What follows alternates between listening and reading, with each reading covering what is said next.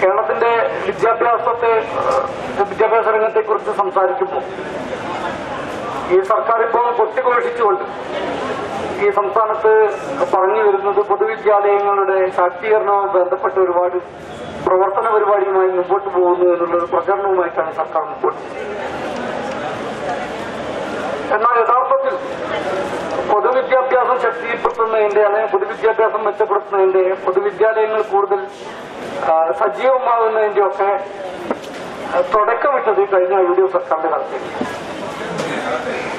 പൊതുവിദ്യാഭ്യാസവുമായി ബന്ധപ്പെട്ട് ഏറ്റവും നിർണായകമായ തീരുമാനങ്ങൾ അത് ഈ സംസ്ഥാനത്ത് നടപ്പിലാക്കുകയും ചെയ്തത് കഴിഞ്ഞ യു ഡി എഫ് സർക്കാരിന്റെ കാലത്ത് ശ്രീ ഉമ്മൻചാണ്ടി സർക്കാരിന്റെ കാലത്തേക്ക്. അത് പ്രൈമറി വിദ്യാഭ്യാസ തലം മുതൽ ഉന്നത വിദ്യാഭ്യാസം വരെയുള്ള ഏതൊരു മേഖലകളും എടുത്തു പരിശോധിച്ചാലും കേരളത്തിലെ പൊതുവിദ്യാഭ്യാസത്തെ ശക്തിപ്പെടുത്തുന്നതിനുള്ള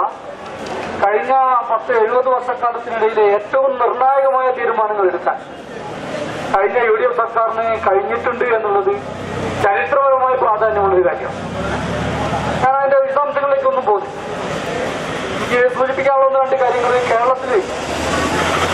ബിരുദ വിദ്യാഭ്യാസവുമായി ബന്ധപ്പെട്ട് ഉന്നത വിദ്യാഭ്യാസവുമായി ബന്ധപ്പെട്ട് ബിരുദ മേഖലയിൽ മേഖലയിൽ കേരളത്തിൽ അങ്ങോളം ഇങ്ങോളം എല്ലാ നിയോജകമണ്ഡലങ്ങളിലും ഗവൺമെന്റ് തലത്തിൽ ആർട്സ് ആൻഡ് സയൻസ് കോളേജുകൾ തുടങ്ങുന്നത് കഴിഞ്ഞ സർക്കാരിന്റെ കടന്നു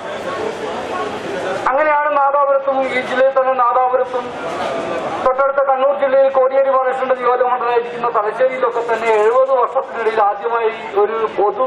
വിദ്യാഭ്യാസ സംവിധാനത്തിന്റെ ഭാഗമായി ആർട്സ് ആൻഡ് സയൻസ് കോളേജുകൾ തന്നെ തൃത്താലയിലായാലും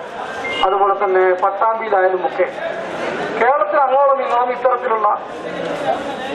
ഇരുപത്തിയഞ്ചോളം arts and science college government arts and science കോളേജുകൾ കേരളത്തിൽ ആരംഭിക്കുന്നത്